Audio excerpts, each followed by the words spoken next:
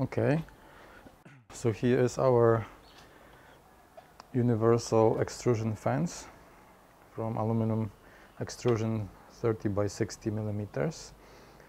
The slot is at 15, the center of the slot is at 15 millimeters and then 45 and so on. So as you can see uh, at the moment all the magnets are turned off, they are not engaged. Here we have the eye bolts, I connected the string and then we have the scale used for the luggage. Of course now there is no resistance because the magnets are disengaged.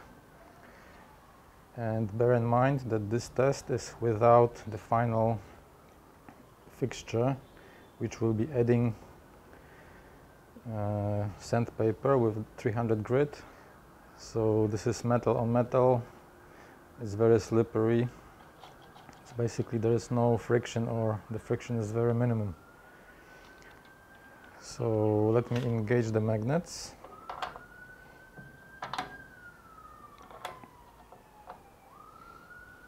You can see already I cannot lift it.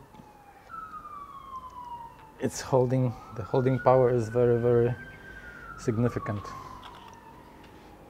And we will test the holding power of three magnets. Okay, so let's try. As you can see now, we are at zero kilograms. I'm starting to pull it parallel to the table. We already have 5 kg, 6, 7,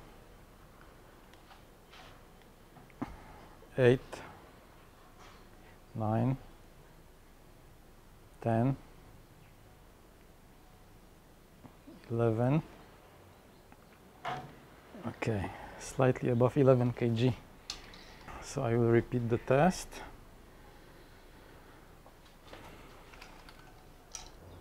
Five, six, seven, eight, nine, ten. 10.5 10.5 okay very good so these are the results when we are not using the sandpaper on the feet of the switchable magnets. You can see it's bare metal on metal. It's very slippery. Additionally this table still has original some kind of protection layer which makes it even more slippery. So it's very very easy to slide and or glide. Uh, so right now I will add the sandpaper. I will glue the sandpaper to the feet of the of the switchable magnets and we will make the test again tomorrow or day after when the when the glue is really dry. But even that 11 kg with bare metal and slippery surface it's already a very good result. Okay? So we have very impressive result with the three magnets without the sandpaper glued to the feet, which is making it very, very slippery. I also want to test the single magnet resistance. You can see now it's disengaged. Let's turn it on. It's already very firm. I cannot lift it Ah, here we have uh, 0 kg, so 3 kg, 3.4, 3.8, 4,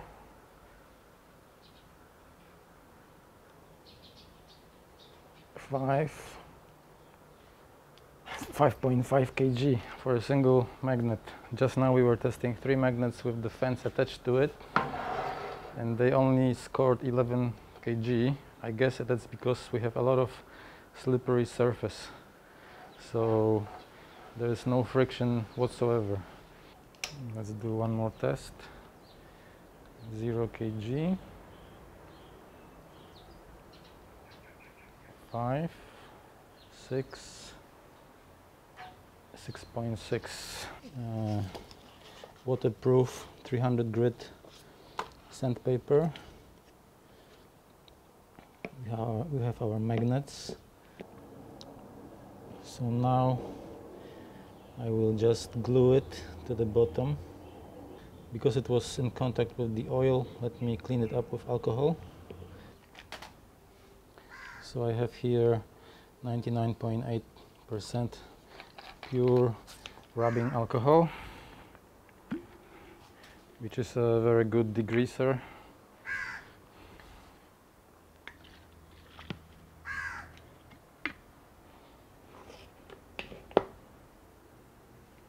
Okay.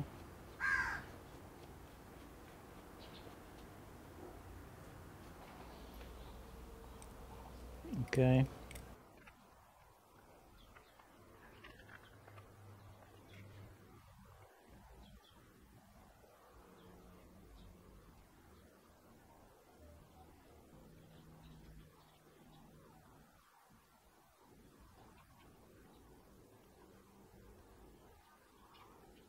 Here comes the beautiful day of testing it out.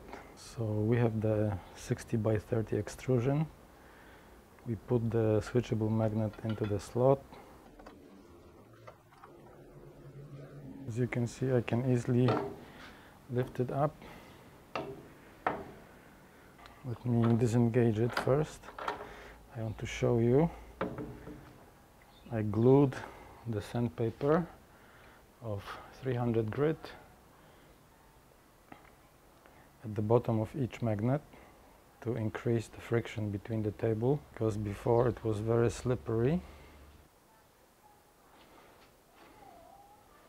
Zero kilograms.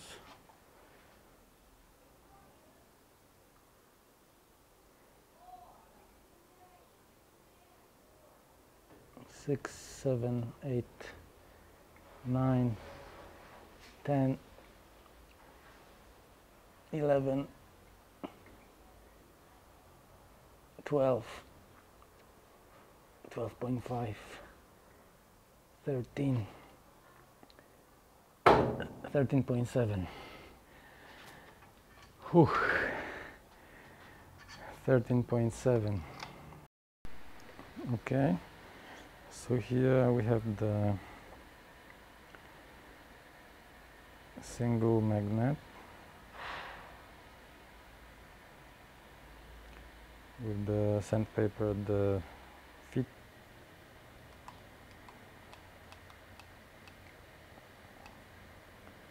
Five five point eight six six point five. Okay. Okay. I have the steel bars each bar is about one kilogram. It's slightly more, 1,400, 1,040 gram.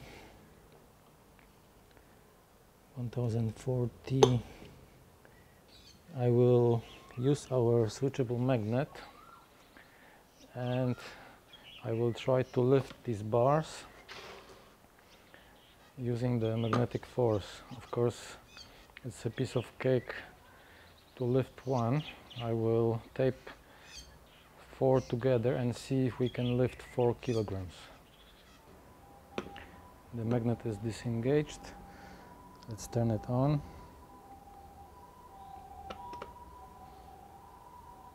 Okay. And ultimate test. Wow there we go.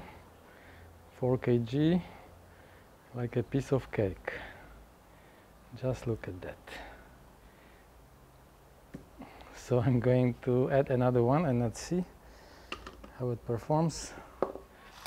I'm removing these steel plates from my bulletproof jacket.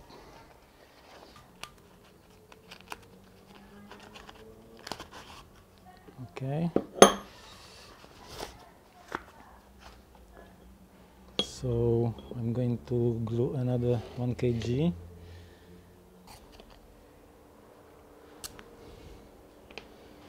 Okay there we go. Five kilograms. The magnet is disengaged. And can we lift five kilograms? Yes we can. Ladies and gentlemen 5 kilograms lifted and holding. Okay I'm going for the 6 kg then. Oh my god. There we go. 1 2 3 4 5 6 it feels heavy really. Okay. I'm excited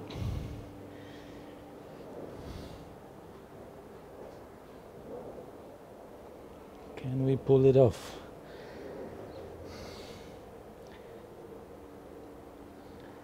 Holding my breath. As you can see, if I find the right balance, I almost grab 6 kg. 6 kg, ladies and gentlemen. I'm holding 6 kg. Yes, look at that. Oh, wow. 6 kilograms this is really satisfaction. Wow. 6 kg. Woo! obviously we cannot push it further any further but 6 kg is really beyond my expectations. Wow. We just pulled off 6 kg with this little baby. For 6 kg we needed to find the the center of the balance. You can see if you are in the center you can pull it off. So I'm not bluffing. Now let me show you what's inside this magnet that could lift up to 6 kilograms. This is really unbelievable. The magnet on its own, together with all the gear, with the aluminum blocks and the stainless steel hardware, it's 330 grams. And the magnets that are inside this switchable magnet uh, weigh only 44.3 grams. 44.3 grams are capable of lifting 6 kilograms. However, these 8 magnets on its own have no chance to do it. They have to be arranged in the special way which uh, I will try to show you in the build video. If you are lazy or if you don't have tools to make this kind of device, you can buy these magnets off the shelf from my from the tigertoolspro.com website. The link is in the description of this video. Let me see how many kilograms we can pull up with these magnets alone. So let's remove one by one. Okay, so now we have five kilograms. Can we pull it up? No way as you can see there's not even uh, any movement at all. So let's reduce to 4 kg.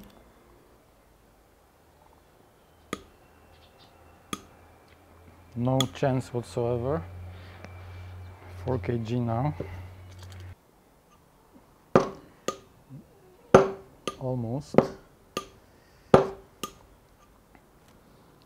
I guess we might be able to lift 3 kg.